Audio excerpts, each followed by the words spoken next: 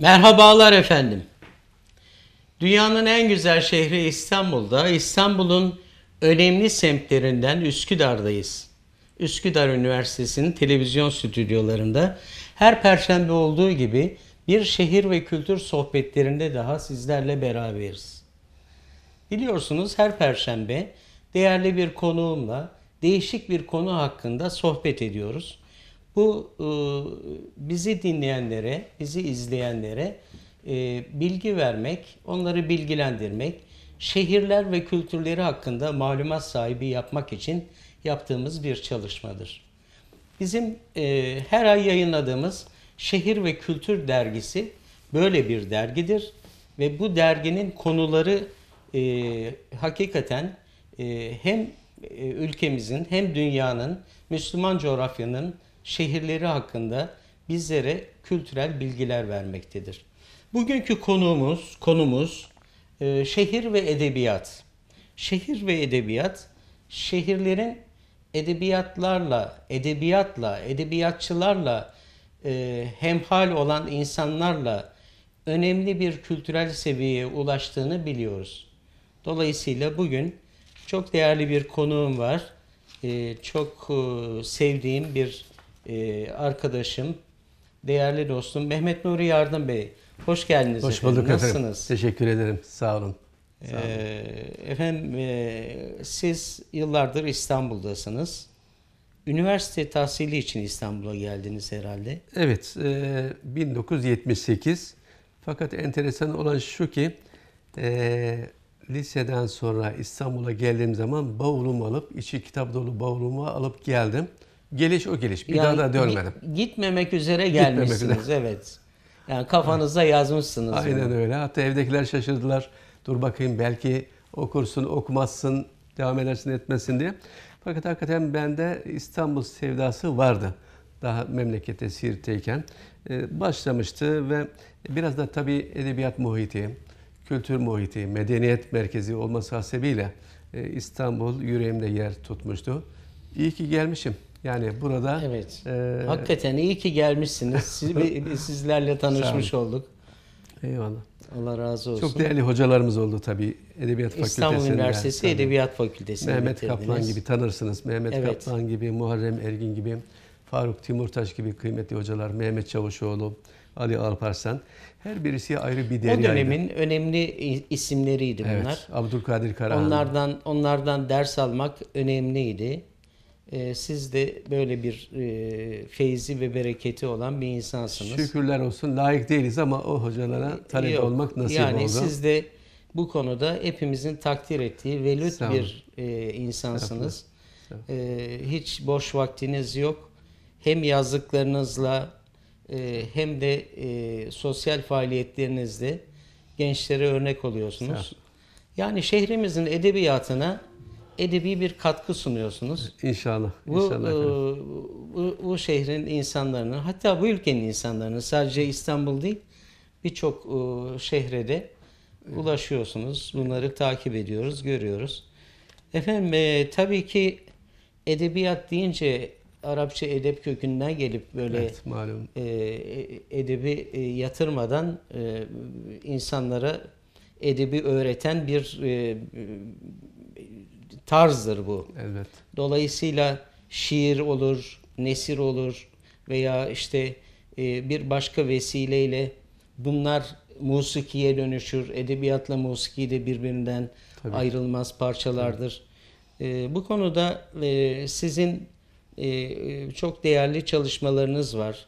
Şehir ve edebiyat üzerine. Mesela şehirde edebiyatçılar deyince İstanbul bu konuda çok e, zengin bir şehir. Tabii ki dünyanın kültür başkenti kabul ettiğimiz bir şehir olduğu için e, siz de e, bu şehrin edebiyatçıları hakkında e, çok ciddi çalışmalar yaptınız. Güzel eserler verdiniz. Sağ olun. Bu arada kaç kitabınız oldu bugüne kadar? Ee, efendim bunu hep sorarlar. Ben de e, bir maşallah gelsin diye Maşallah, 41, 41, maşallah, 41 maşallah. kitap diyorum.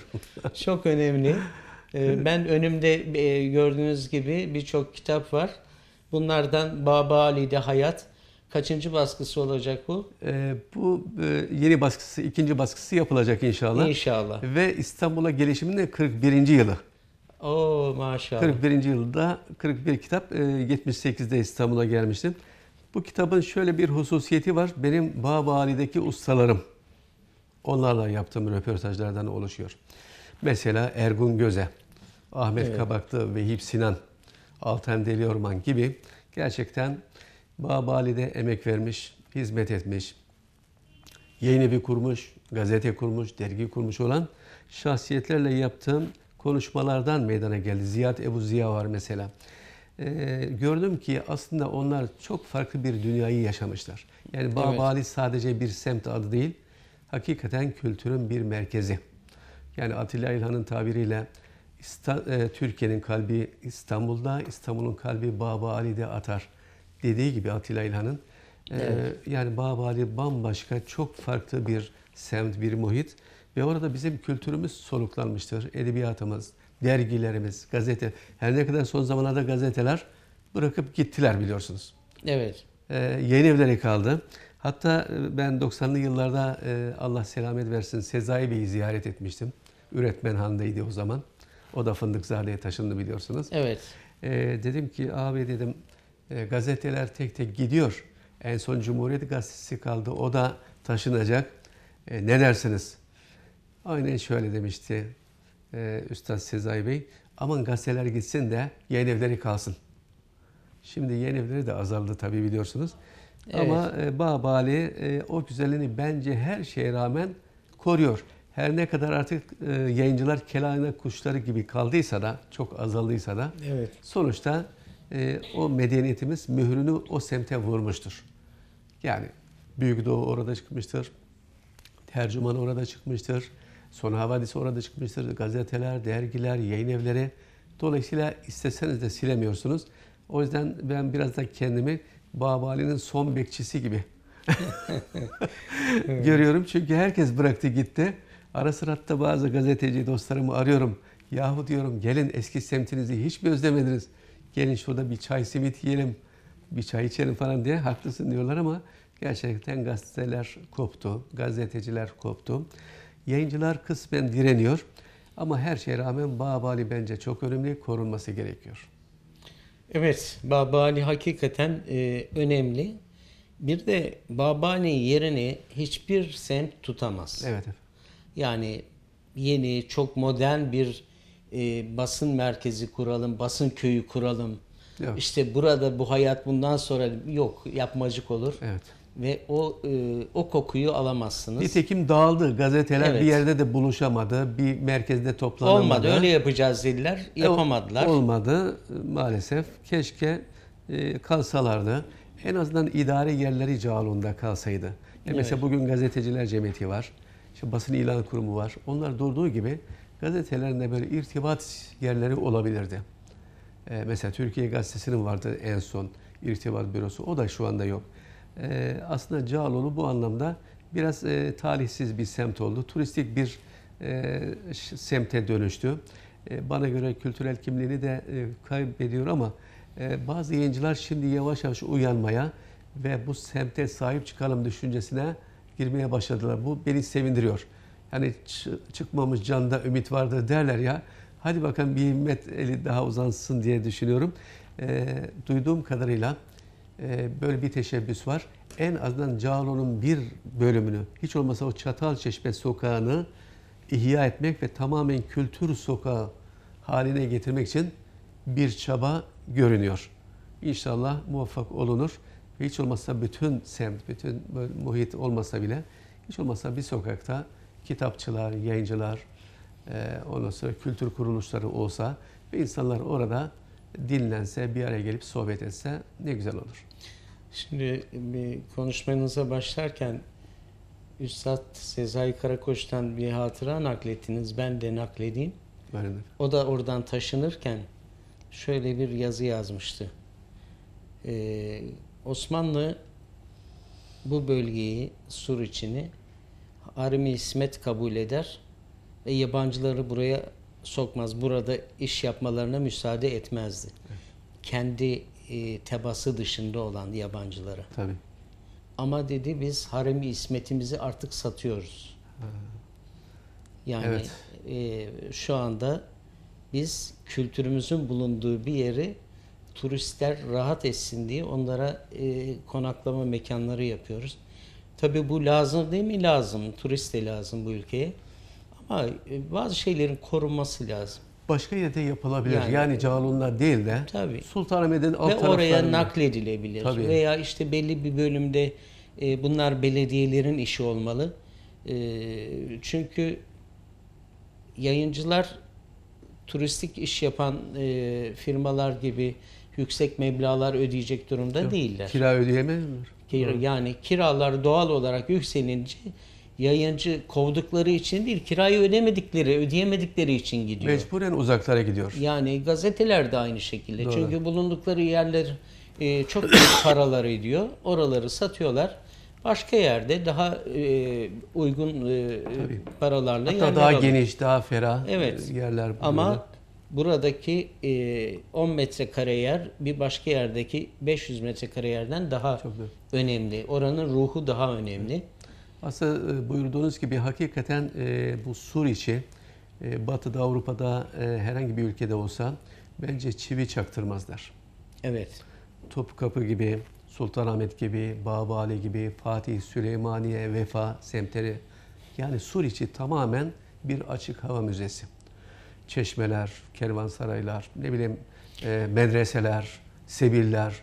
Yani baştan sona tarih kokuyor. Üstadım benim bir e, dizi yazım vardı. Şehir ve Kültür Dergisi'nde yayınladım. E, Fatih Süleymaniye Ulema Semtleri diye. Bu Fatih Süleymaniye aksı Bizans'tan Cumhuriyete kadar hakikaten alimlerin oturduğu semtler. Evet. Ve insanlar oraya gelip ilim okuyor, ilim tahsil ediyorlar. Medreselerinde veya o e, hocaların evlerinde, mekanlarında. Tabii. Süleymaniye mesela hakeza öyle. Tabii. Kütüphaneler olduğu gibi sahaflar da öyle. Sahaflar Sahaf, Fatih'te evet. var, Beyazıt'ta var, Kapalı Çarşı'da var. Evet. E, Sahafların olduğu yerde kültür olur, ilim olur, medeniyet olur. Hakikaten bu bölge çok önemli, çok kıymetli. Ve bunu e, yaşatılması gerekiyor. Ama bakıyorsunuz şimdi Süleymaniye'de o ahşap evler tekrar restore ediliyor, yapılıyor ama bence geçen gene bir dolaştım. Hepsi yapılmadı zaten de. Restore edilip yapılan evlerde bakıyorsunuz bir dernek veya bir işte şirketin merkezi ama oralar ikamet edilmesi lazım. Yaşayan mekanlar olması lazım. Çok doğru. İnanın e, çok da eleştiri alıyor bu vatandaşlardan. E, isim vermeyelim. Bir e, tarihi binanın se- sebilinde ayakkabı satılıyor. Evet. Olacak iş değil. Ya ayakkabı her yerde satılır. Ama o sebilde başka şeyler yapılır. Evet. Ecdat ne yapmışsa, atalarımız orada hangi misyonu üstlenmişse o misyonu Aslına uygun şeyleri lazım. yapmak Elbette. lazım. Sebilde ayakkabı satılır mı? Evet. Yani- Yani, mesela o bölgelerdeki eski bu edebiyat sohbetlerini hatırlayalım. Siz de çok iyi biliyorsunuz. Evet. Mesela Mercan'daki İbnül Emin Mahmut Kemal Konağı'nda Yıktırıldı. Evet. e, muhteşem haftalık sohbetler yapılır. Rahmetli babam oranın müdavimlerindendi. evet. İbnül Emin Mahmut Kemal vefat ettikten sonra e, Süleymaniye'de Nazif Çelebi'nin konağında bu devam etti. Evet. Bunlara ben çocuk yaşta da yetiştim. Evet. E, dolayısıyla e, bu bir e, feyiz alınan yerlerdi. Şimdi İbn Emin Mahmud Kemal e, konağı kendi arzusu hilafına, kendi vakfı tarafından yıkıldı ve han yapıldı.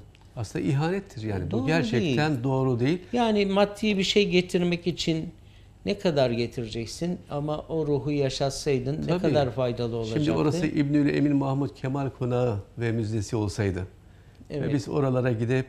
Üstadın o mekanlarını Yahya Kemal'le, Yine Münir aynı, Nurettin'le aynı sohbetler devam etseydi tabii yani elbette. ne kadar güzel elbette. olurdu. Çok doğru. Çok yani doğru. bu edebiyat mahfilleri tamam şimdi bir takım vakıf ve derneklerde oluyor ama o o ortamda yapılan konak sohbetleri bizim Osmanlı geleneğinden gelen şeyler. elbette, elbette. Yani şimdi kubbe altında sohbet yapılıyor, birlik vakfında yapılıyor.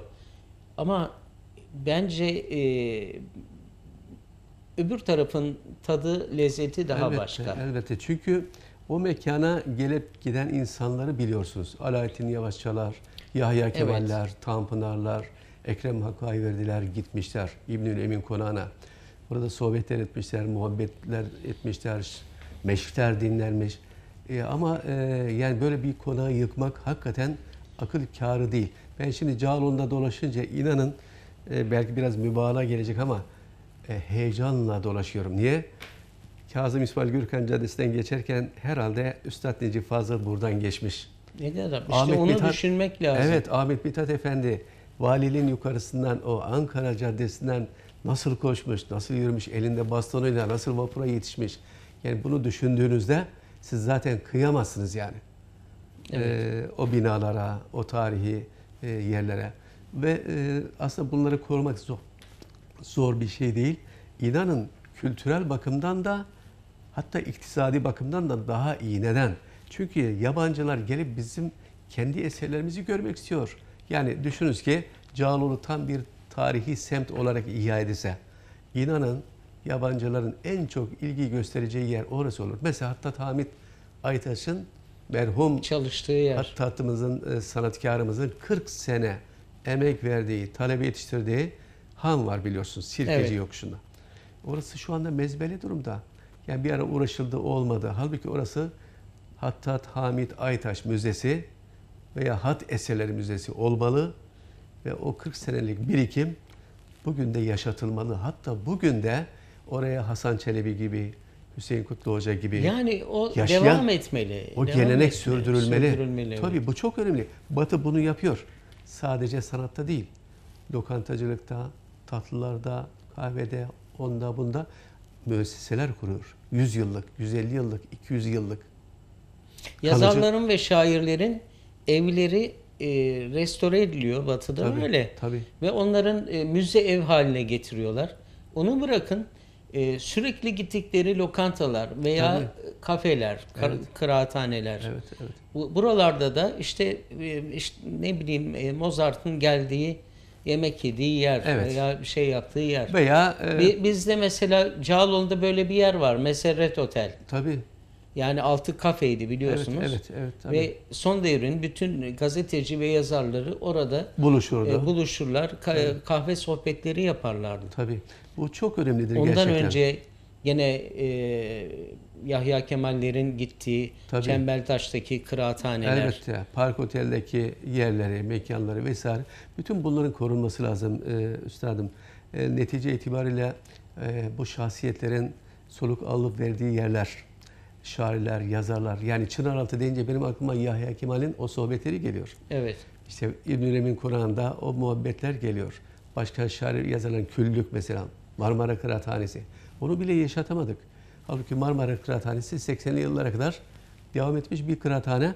Ve orada çok değerli insanlar buluşmuş, bir araya gelmiş. Kimler? Başta Ziya Nur Aksun, bilge tarihçi. Evet. Sezai Karakoç, Erol Güngör, Necmettin Hacı Yeminoğlu, e, Münir Yani aklınıza gelen bütün önemli şahsiyetler, Evet evet. hep orada e, neşvi nema buldular. Tabii. Orada yetiştiler fe- aslında. Feyizlendiler Tabii. ve o ışıklarını orada saçmaya Tabii. başladılar. Bizim e, Üstün İnanç abimiz var biliyorsunuz. Kıymetli bir yazarımız. Buna da selam olsun buradan. Eyvallah selam ediyoruz. E, o mesela anlatır sohbetlerinde Marmara Kıraathanesi gerçekten bir kıraathane olmanın ötesinde bir mektep. Ve e, rahmetli Mehmet Niyazi anlatırdı. Bir laf lafı açar ama bunlar da güzel şeylerdir. Tabii tabii bu hatıralar Derdi ki- önemli. Derdi ki e, Niyazi abi, e, dünyada hiçbir yerde görülmüş değil ki bir matematik profesörüyle ortaokul terk bir genç fikri mücadele yapabilsin. Bu ancak Marmara Kıraathanesi'nde olurdu. Yani ortaokul mezunu bir genç icabında bir matematik profesörüyle fikri bir mücadeleye girebiliyor. Bu hakikaten önemli bir, yani beyin fırtınası böyle bir şeydir. Evet. Beyin fırtınası böyle eser. Dolayısıyla o e, küllüktür, Marmara Kıraathanesi'dir, işte Acemin Kahvesi, Laleli'de Tabii. e, anlatırlar. Ben onu göremedim, yetişemedim. E, En, en sonunda Fatih'te Ozanlar Kıraathanesi. Evet, evet. İsmail abi rahmetli olana kadar orada böyle sohbetler devam ederdi. E, orası da artık e, şeyini kaybetti. Eski, eski tadını kay- Eski evet, şeyini kaybetti. doğru. Yeni nesil maalesef Bu tür edebiyat sohbetleri yerine nargile kafelerde e, siyasi sohbetlere giriyorlar. Ee, Evet, e, gençlerin bu- ilgisini çekmek lazım aslında. Evet, On- aslında. kayıp onların. Şimdi biz de biliyorsunuz e, Perşembe akşamları Bağbali sohbetleri yapıyoruz. Evet. Bağbali Ender'in sohbetleri Yeni Dünya Vakfı'nda Cağaloğlu'nda ve tarihi bir bina Hasanpaşa Medresesi'nde. Evet. Sizler de katıldınız. Gerçekten e, çok istifade ediyoruz. Yani çok kıymetli hocalar geliyor. Alimler geliyor, sinemacılar, tiyatro adamları, Evet. karikatüristler, ressamlar, edebiyatçılar ve her birisinin heybesi dolu. Evet. Biz dinliyoruz, istifade ediyoruz. Hatıraları paylaşıyorlar. Hatıralarını anlatıyorlar, soru soruyoruz, gençler soru soruyor. Ya bu tür mekanları çoğaltmak ve içini de bilhassa gençlerle doldurmak lazım. Çünkü gençlerin ihtiyacı var. Şimdi e, biz de Dersadet Kültür Platformu olarak ayda bir Üsküdar'da Evet. e, Uncular Caddesi'nde Dersadet Üsküdar Sohbetleri diye kahvaltılı bir sohbet yapıyoruz. Her ayın son cumartesi. Sabah 9'da kahvaltı ardından önemli bir konuğumuz geliyor ve e, orada bulunan Hazirun'u ilgilendiriyor. Soru cevaplar oluyor. Öğlene kadar 12'ye 1'e kadar bu program devam ediyor. Çok faydalı oluyor. Tabii biz bu e, dershane çevresinden çağırdığımız arkadaşlar e, yani en genci 40 yaşında oluyor. E, bunu nasıl gençleştirebiliriz? Yaş ortalamasını Yaş ortalamasını aşağı çekmemiz lazım. Ondan sonra ya şimdi 18 yaşındaki gence oy kullandırıyorsunuz ama ona bir şey anlatacak zemin yaratmıyorsunuz. hatta seçme ve seçilme Se- hakkı hakkını var. var, tabii. Yani bir de seçilebiliyor Tabii yani. milletvekili olabiliyor yani. Yani sadece okullar e, bu iş için yeterli değil. Bunu Değil. her zaman söylüyorum. Okul, öğretmen çok önemli. Evet. Ama sadece okulda verilen didaktik bilgilerle e, kişi yetişmez. Yetişmiyor. Öğrenci yetişir. Çok Ama haklısınız. kişi yetişmez. Evet. O kişinin eskiden önemli bu tür sohbet mekanları vardı. Bazıları işte e, çok daha önceleri dergahlara gider orada. Oralarda biraz e, şu tabiri kullanıyordu rahmetli Nevzat Hoca. E, musakkaf yani böyle e, yontulan yerler Hmm, manasına. Evet evet. İnsanların İ- incel, İnsanı yontan, incelten e, e, çok tabiri kullanılıyor. Bunlar önemliydi. Şimdi biz burada e, lise hocalarımızdan, lise öğretmenlerimizden gelenlerimiz var. Onlara e, vazife verdik.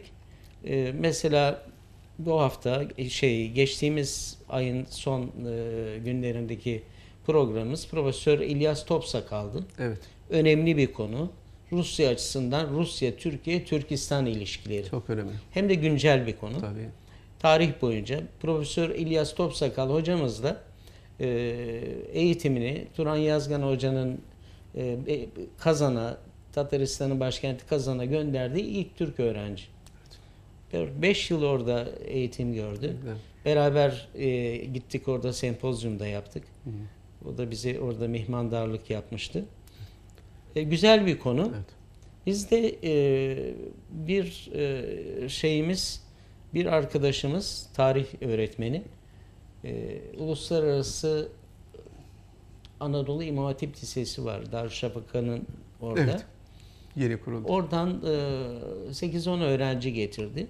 Kazak, e, Azeri, işte e, Farklı milletlerden. farklı milletlerden, Kırım'dan, Afrika'dan, e, Suriye'den, çeşitli e, milletlerden gençler. Tabii son sınıfta olduğu için Türkçeyi de öğrenmişler. Ben orada yazı dersleri verdim çocuklara. Yazı Ne editörlük dersleri verdim. Evet. Ne kadar güzel. O iyi ki o okullar açılmış. Çok Tabii, çok önemli faydalı. hizmet yapıyorlar. Çok doğru.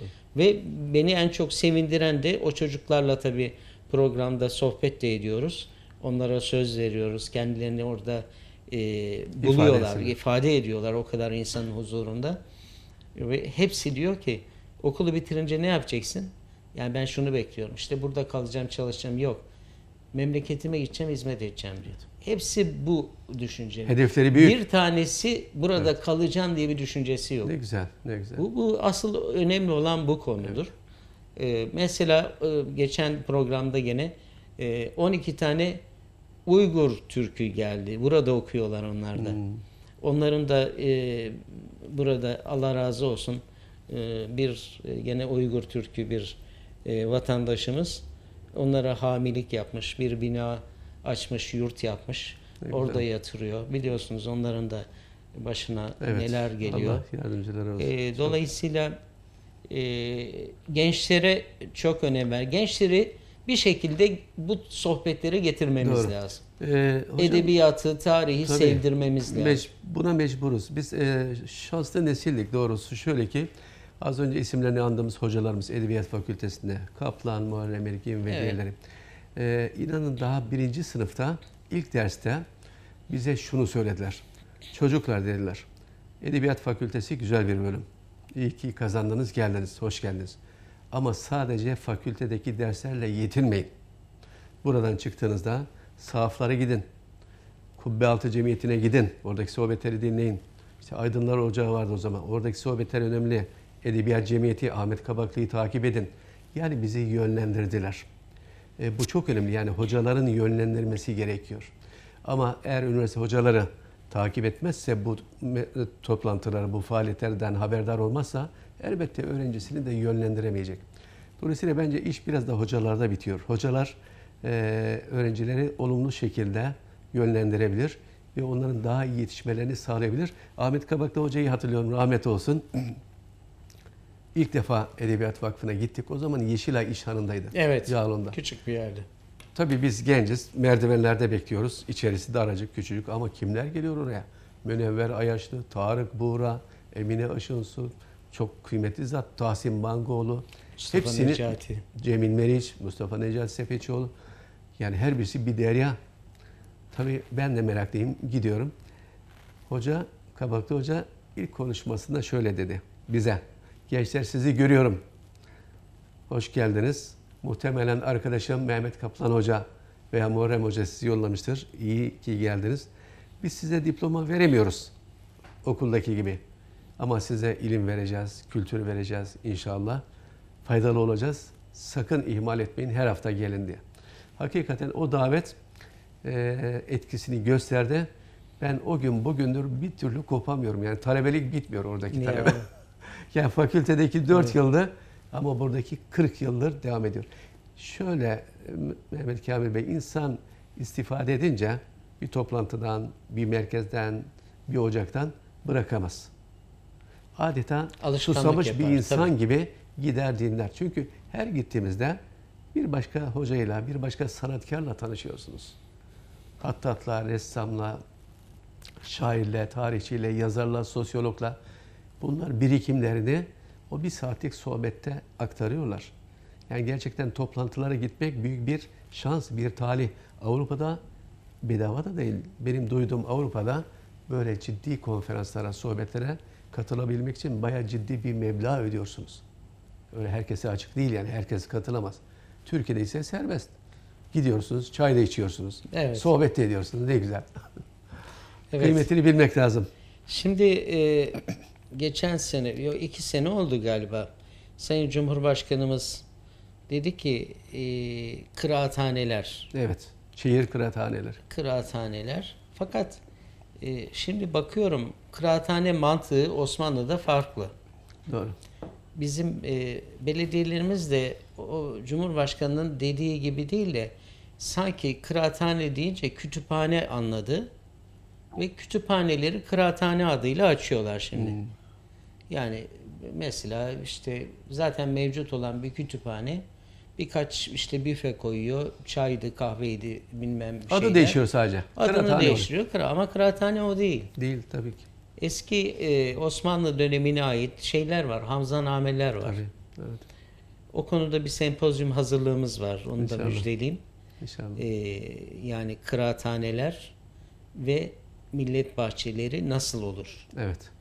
Bu, bu kültürü e, bugüne nasıl adapte ederiz? Bence çok önemli bir çalışma. Çok Hatta önemli- yönlendirici olacak Önemli inşallah. bir şey yönlendirici örnek tip şeyler yapmak lazım ki çünkü bilmeyenler için bunları anlatmak lazım. Maalesef bazıları da kıraathaneyi kağıt oyunu oynanan yer biliyor. Öyle biliyor evet. Değil mi? Yani Aslında şey- oku- okunan yer, okuma yapılan Tabii. yer veya konuşulan yer. İşte e, ben o Hamza namelerden iki tanesi şeyde çıktı. E, Ketebe yayınlarından çıktı. Evet. E, Birçok e, şeyleri var. E, İnşallah onları da biz e, belki bazı arkadaşlara latinize ettireceğiz. İnşallah. Çıkmış yayınlar var bayağı. Tabii, tabii. Yani Osmanlı döneminde çıkmış Evet, yayınları evet. var. Yani kıraathanede e, diyelim ki e, Acemin kahvesinde gelmiş oranın e, okuyucusu var. Yani okuyucusu derken konuşan. Tabii. Hatibi. Hatibi geliyor. Orada kim var kim yok. Biri e, uyukluyor, biri şey yapıyor ama o oraya geliyor ve herkes onu dinliyor. Anlatıyor, bir hikaye anlatıyor, e, bir hadise anlatıyor, bir olay anlatıyor ve bu anlatılanları da birileri yazmış. Ne Aslında ekmek önemli. teknesinde benzerini yaptılar. Benzerini yaptılar. Bence güzeldi yani o. Güzeldi. Evet, Onu biraz daha değiştirip yapsalar, Evet. devam etseydi iyi olurdu. Doğru. Bu kıraathane mantığı bu. Çok doğru. Hani bir ara bir, bir de öyle e, kahvelerde e, şeyler e, e, hatipler koydular. Şeyler devam etmedi o. Yok öyle resmi değil de O- aslında o değil, yani- kendiliğinden olacak. Halk Kendiliğinden- üniversiteleri aslında. Yani e, kağıt oynanan yerde bu tür şey olmaz. Olmaz elbette. O gürültü patırtı yani, içinden yani o mümkün değil. kıraathane dediğiniz yani şimdiki çay ocakları var. Onların benzeri biraz kitap olacak. E, Evet. Ve insanlar oraya sohbet etmek için gelecekler. tabii. Ve gelecek birinden de dinleyecekler, feyiz alacaklar. Bir anlatıcı olacak, dinleyici olacak, Evet. e, istifade olacak, soru olacak, cevap olacak. Ve insanlar hakikaten buna açlar. Tabii, tabii. Yani bi- birisi kendi herkes kendine uygun bir hatip bulabilir. Evet.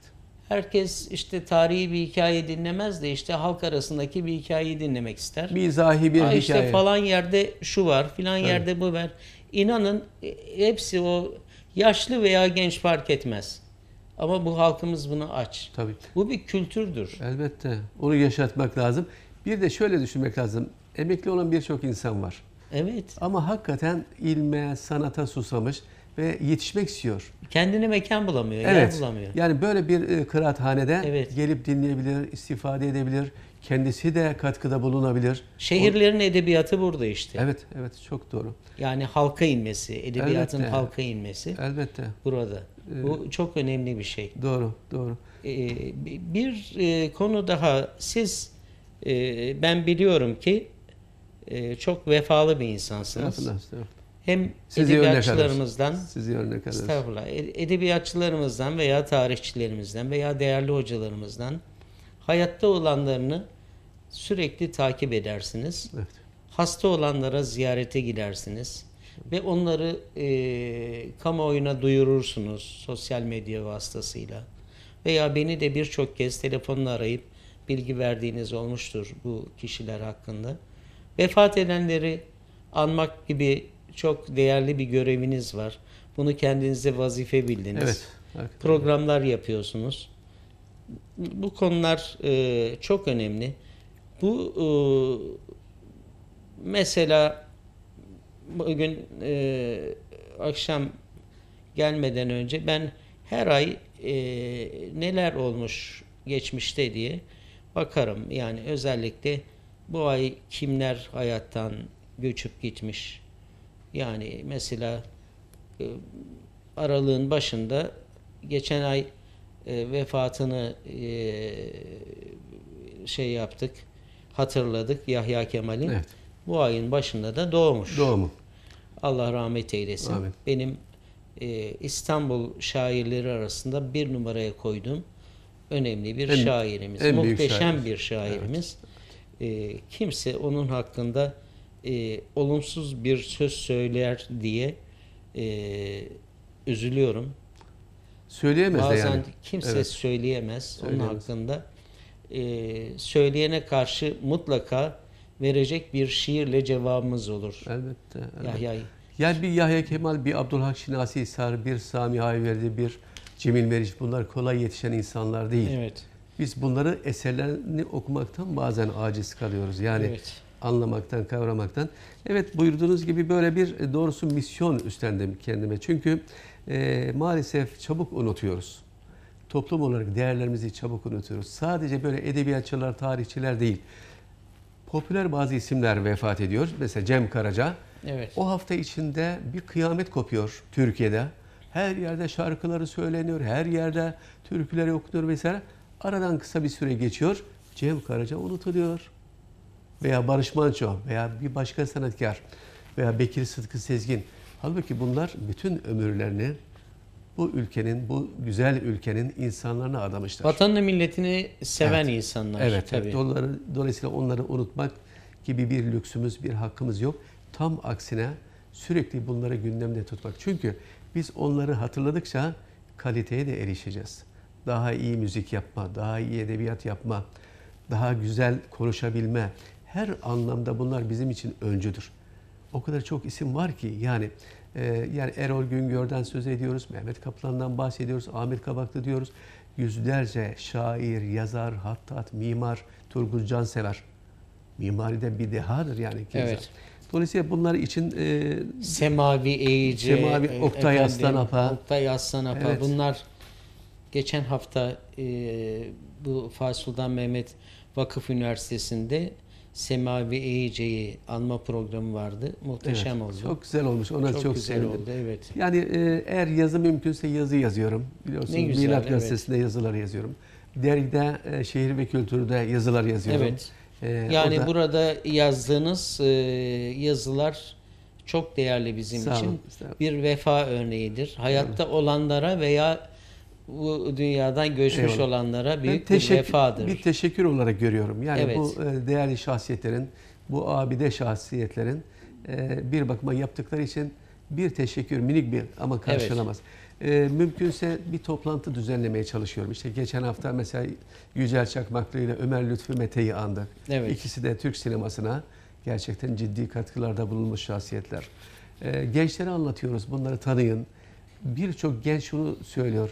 Hocam ilk defa adlarını duyuyoruz. Veyip Sinan kimdi? Hiç duymadık diyorlar mesela. Halbuki Veyip Sinan 80 yaşına kadar Bizim ömrünü bizim Türk devrin karikatürüne adamış. önemli bir karikatüristi. Evet unutulup Bizim gidiyor. dünyamızın önemli bir Evet, karikatüristi. Evet, evet. Yani gazeteciler bile unutuyor biliyor musunuz? Yani meslektaşları bile.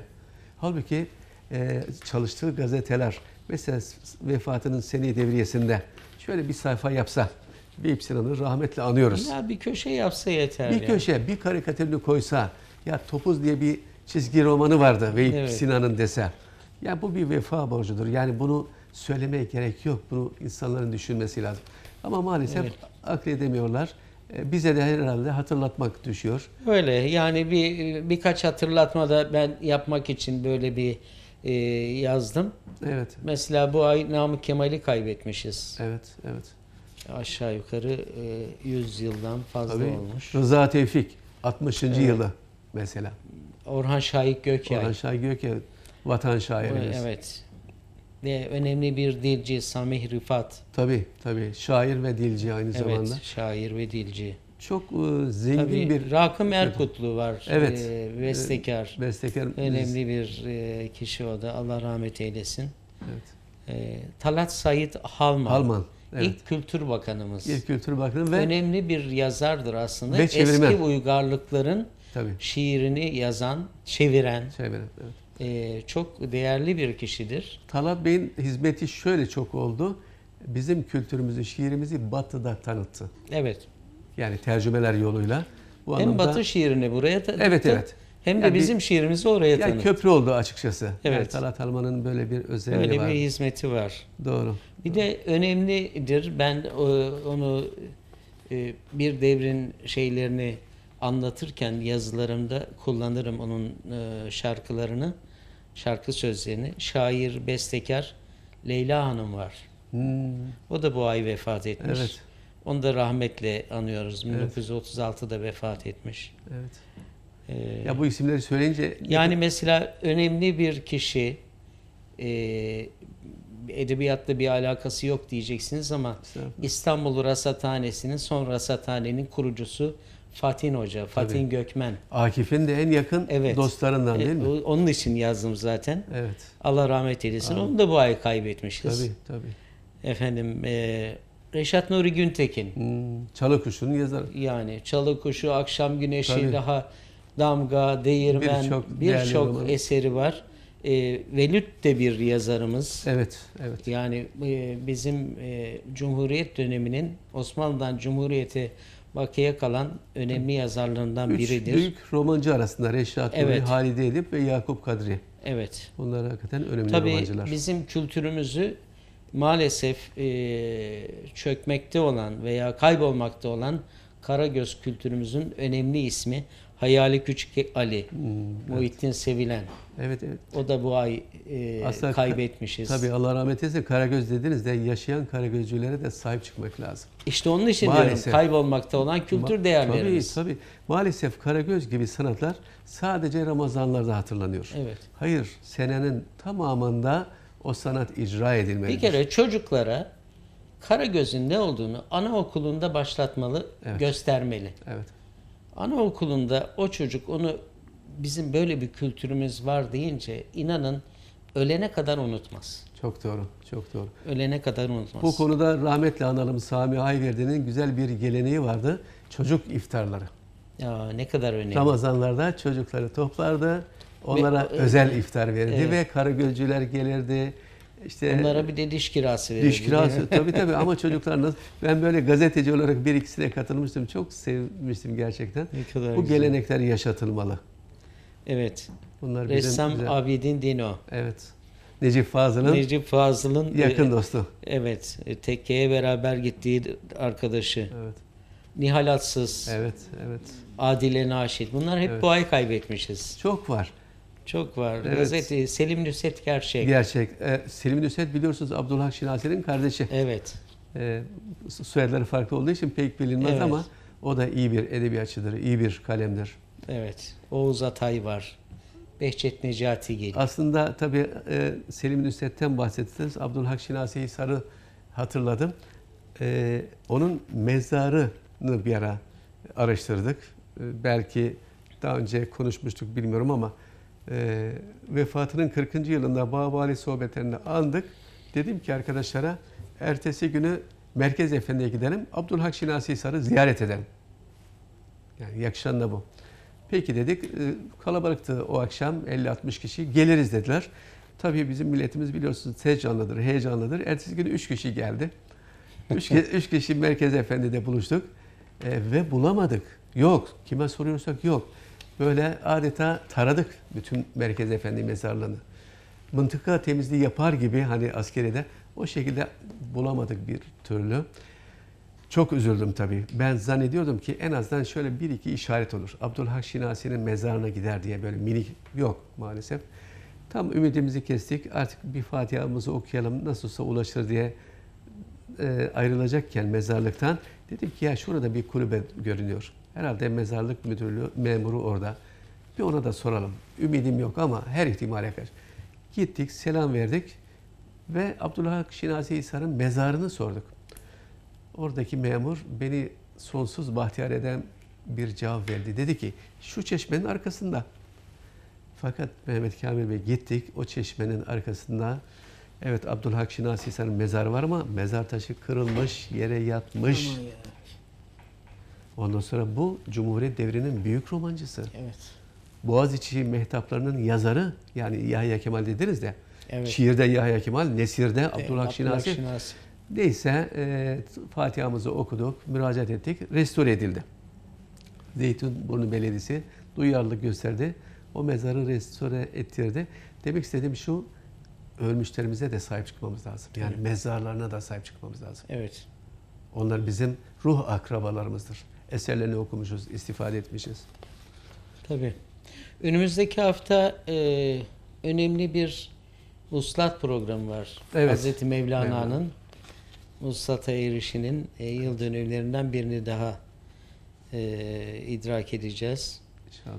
Ercüment Ekrem Talu. Hmm. Gene o da bu ay vefat edenlerden. Recaizade'nin oğlu. Evet, Evet. Recaizade Ekrem. Efendim e, İsmail Hikmet Ertaylan var. Edebiyat tarihçisi. Edebiyat tarihçisi. Önemli. Niyazi Berkes var. Sosyolog. Ha, evet. O da bu ay vefat etmiş. Yani bunları burada okuyorum ki Aslında en azından ismini okuyarak anmış olalım. rahmete vesile olsun. Rahmete vesile olsun. Vallahi çok iyi yapıyorsunuz. Bence Evet. her ay veya Evet. her hafta e, bunları almak lazım. Bunların efendim üstümüzde hakları var. Evet. Yani mecburuz anmaya aslında toplum olarak onları hatırlamaya mecburuz. Yani e, şöyle bir düşünce var. Bu topraklarda yaşamış yazar, şair. Yazdıklarınıza, e, yazdıklarına katılmayabilirsiniz. Elbette. Fikrine katılmayabilirsiniz. Tabii ki. Ama bu topraklarda yazarak veya şiir yazarak hizmet etmiş herkes bizim başımızın tacıdır. Saygı değerdir. Onlar bizim insanımızdır. Tabii ki. Dolayısıyla e, hepsini rahmetle anıyoruz. Elbette. Elbette. Çok doğru efendim. Ee, yani Niyazi Berkes, sosyolog, Sunullah Arısoy, Hmm, bu şair. da şair, yazar. Ee, benim hemşerim Necip Hamlemitoğlu. Evet, evet, evet. Ee, Aslında bu projeniz bana şunu hatırlattı. Keşke televizyonlarımız her gün her haberlerden gün, önce bugün şu oldu, bu oldu gibi değil mi? mesela Ahmet Hamdi Tanpınar bugün öldü. Evet, ya Kısa bugün bir şey. doğdu. Bugün doğdu. Hatta şi- eserlerini de göstermeseler sadece ismen bir hatırlatsalar ne güzel olur. Evet. Tuluatçı Ali Rıza Efendi. Hmm. 928'de vefat etmiş. Ahmet Emin Yalman. Alman gazeteci. Önemli bir gazeteci. Evet. Ee, bir yabancı ama ben ismi benim için önemli. John Steinbeck. Hmm, tabii. O da bu ay ee, Evet. ölenlerden. Hulusi Kentmen gibi, Aa. Kamil Sönmez gibi Evet. sanatçılarımız var. Tabii çok önemli bir edebiyatçımız, tarihçimiz Ziya Şakir. Evet. 1959'da o da bu ay. 250-300'e yakın eseri var. Ya muhteşem bir Akıl şey. fikir yayınları yayınlıyor. Ahmet Mithat Efendi ile yarışan Neredeyse. bir şey. Onun ardından Evet. yürüyen Mükremin Halil Yınanç. inanç, tarihçi. büyük Evet. tarih. Mehmet Rauf. Ha, Eylül. Eylül. romanının yazarı. Tabii ki rahmetli Mehmet Akif. Evet. Ee, şey var Ahmet İhsan Toksöz var. Servet Evet. İfünun dergisinin e, sahibi. Onun da hatıraları çok önemlidir. Bağ, Bağ Evet. İle alakalı ciddi hatıra, matbuat Evet. hatıraları diye. Aslında mezarlıkları dolaşırken ben biliyorsunuz böyle bir çalışma da yapıyorum. Bahsetmiştim. İstanbul'un ebedi sakinleri diye. Evet. Eğer e, ölmez de hayatta kalırsak, nasip olursa, basılırsa faydalı olacağını düşünüyorum. E, mezarlıkları dolaştık. Ahmet Dur adlı bir kardeşimle beraber. Tabii ben tespit ediyorum, fotoğrafını çekiyoruz. Şunu gördüm, şu dünyada kavga edenler, hır görüşünde sürekli didişenler orada uslu uslu yatıyor. Koyun koyuna Koyun yatıyorlar. koyuna yani bakıyorsunuz fikirleri ayrı, düşünceleri farklı. Ama orada mezarlıkta sessiz bir şekilde. Üç günlük dünyada Evet. bu kavga niye? Yani aslında bu bile bize ders veriyor. Evet, aynen öyle. Geçtiğimiz günlerde çok değerli bir sanatçımız e, İslam Çeçen'i, Hmm, e, Allah Seçen'i rahmet- kaybettik. Evet, evet. Allah rahmet eylesin. Gittim cenazesine katıldım. Çok- E, dolayısıyla o da önemli bir e, Tabii. sanatkarımızdı. Tabii cins sanatının yaşayan son Onun, temsilcisi. onun ustası Emin Barın da bu ay vefat etmiş. Ben Emin Barın'ı da ziyaret etmiştim. Evet. Bir röportajda yapmıştım gazeteci olarak. Evet. Zaten aynı mekanda onlar bulundular. Evet. Yani İslam Bey e, ustasının mekanında çalıştı. E, büyük sanatkarlar. Bunlar hakikaten kolay yetişmiyor. Tevfik İleri Evet, e, o büyük çok değer verdiğimiz. önemli. Bugünkü İmam Hatip okullarının e, kurulmasında emeği olan Evet. önemli bir siyasetçimiz ve aydın bir insan. Allah rahmet eylesin. Hatta Milli Eğitim hep böyle şikayetçi oluyoruz düzelmiyor diye. Bana göre ilk değerli Milli Eğitim Bakanı hakikaten Tabii. Tevfik İleri. Çok e, çok önemli hakikaten. büyük hizmetleri Tabii oldu. son bir isim var. Bu da ağzımız tatlansın diye söyleyeyim.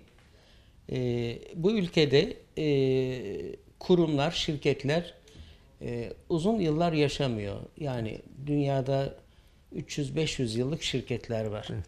Ama Türkiye'de saysanız bir elin parmaklarını geçmez. Doğru. Bunlardan da bir tanesi Ali Muhittin Hacı Bekir.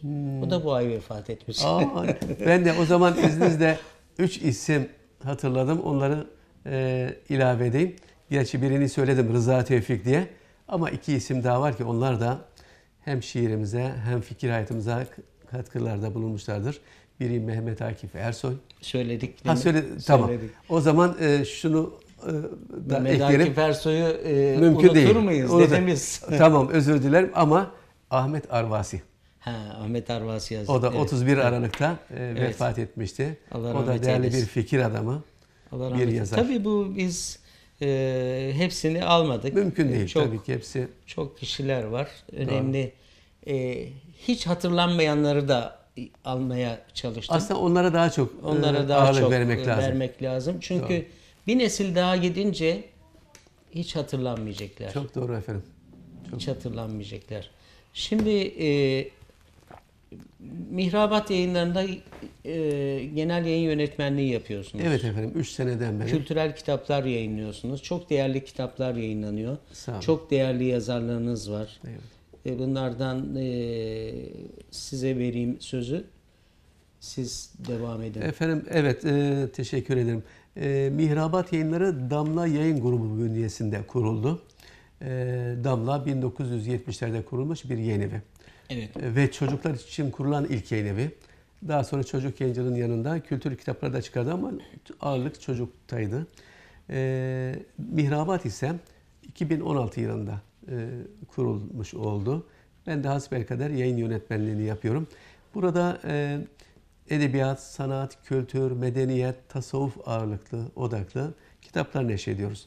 Yazarlarımız arasında e, Türkiye'de sevilen sayılan Gürbüz Azak, Üstün İnanç, Nurettin Taşkesen, e, ondan sonra Murat Başaran, e, Zafer Bilgi gibi genç veya usta birçok yazarımız var. Bu arada Gürbüz abiyle ilgili şöyle bir anekdot. Tabii. Ee, yani herkes onu yazar olarak, gazete yazarı olarak veya kitap yazarı olarak tanır ama e, asıl onun sanatı e, Ressam. çizgileridir. Ressamdır. Ressam 3000 Biz- kapak yapmıştır biz yani. yayıncılık yaptığımız dönemde 1969'da çıkardığımız ilk kitabın kapağını Tabii. Gürbüz abi yapmıştı. Tabii. Eski birçok kitabın kapağına bakarsanız Evet. ressam Gürbüz Azak yazar. Tabii işte e, bi- bizim kitapta da 1969 baskı. Evet evet. Bugünlerde de bugünlerde de yeni bir kitabı çıkacak bizden. Yani 50 yıl önce yapmış onu. Elbette çok eski. Ya Babali'nin en eski kıdemli ustalarından e, Ege'nin Efeleri. Evet. İnşallah e, basılır basılmaz size de takdim ederim. E, Gürbüz Bey e, gerçekten Türkçe'ye hakim olan e, değerli Evet. bir yazar. Yani yazarlığı sonradan geldi Evet. ama çok sevildi. İşte gazetelerde yazdı, kitapları çıktı. E, ve mesela Nurettin Taşkesen yazarımız Mihrabat'ta daha çok yakın tarihle alakalı çalışmalar yaptı. Belge roman çalışıyor. En son e, Kudüs'ten sonra e, Fili- e, Endülüs'e gitti ve Endülüs Fatihleri diye üç kitaptan Evet. oluşacak bir serinin ilkini yazdı. E, Biri tabii bu. orada büyük bir Evet. medeniyetimiz var ve Kamil Bey gerçekten ben Endülüs Devleti'nin 800 yıl yani Osmanlı'dan da Daha uzun daha süre, uzun evet. sürdüğünü bilmiyordum. Yani Evet. yeni yeni tarihimizi öğreniyoruz. Elbette bunlar çok güzel çalışmalar. Tarihimize ilgimiz arttı. Tarihimizle buluşmaya başladık, barışmaya başladık. Ee, biliyorsunuz böyle hep e, kutuplaştırmalar yapılır. Hayır efendim, e, kanaatimce Cumhuriyet Osmanlı'nın, Osmanlı Selçuklu'nun devamıdır. Selçuklu Oğuzlardan gelmedir. Yani tarih bir bütünlük arz ediyor. Dolayısıyla birini kabul, öbürünü reddetmek doğru değildir. Evet. Hepsi bizim ecdadımızın kurduğu güzel devletler, müesseseler. Onların hatalarını da görebiliriz elbette. Ama bıraktıkları o büyük mirasa da sahip çıkmamız gerekiyor. Evet. Efendim zaman çok çabuk geçiyor. Programımızı açtık. Ama sizinle sohbet güzel. Sağ olun. Ee, iyi ki geldiniz. Sayenizde efendim. Keyifli bir Evet, sohbet oldu. Teşekkür ederim. Ee, değerli dostlar, bugün Mehmet Nuri Yardım'la beraberdik. Mehmet Nuri Yardım dostumuz bizim çok sevdiğimiz. Baba Ali'de her zaman birini arayıp sormak istediğimizde kendisinden yardım istediğimiz bir arkadaşımız, dostumuz. Soy ismiyle, soy ismiyle müsemma değil Evet. tam henüz. Soy ismiyle müsemma Mehmet Nuri Yardım'a ilk yardım derler. Ee, dolayısıyla e, her konuda e, kendisinden istifade edebilirsiniz. Birçok öğrenci yetiştirmiştir, birçok yazar yetiştirmiştir. Aslında e, bir mekteptir yani. Bir yazarlık okulu vasıtasıyla yıllardır bu hizmeti devam ettiriyor. Bizim de Şehir ve Kültür Dergimizin her sayısında mutlaka kendine ait e, bir yazısı, kendine has bir yazısı olur. E, dolayısıyla keyifle okuruz. Okuyucularımız da keyifle okurlar. Biz kendisiyle e, bugün e, aslında e, çok özel değil. Her zaman bir araya geldiğimizde bu tür sohb- sohbetleri yaparız. Bugün de böyle bir sohbet oldu. E, iyi ki geldiniz. Çok Sağ sağ olun. E, ama programımız maalesef sınırlı. Burada programı sona erdiriyoruz. Efendim önümüzdeki hafta tekrar yeni bir konukla, yeni bir konuyla beraber olacağız. Hoşça bakın zatınıza.